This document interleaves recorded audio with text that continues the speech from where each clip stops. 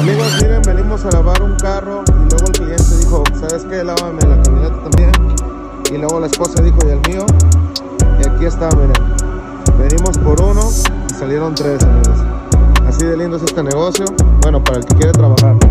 Para el que no, pues ha de estar horrible. Venir por uno y irse con tres. Pues vamos a echarle ganas. Ahorita les mando un video de cómo quedó.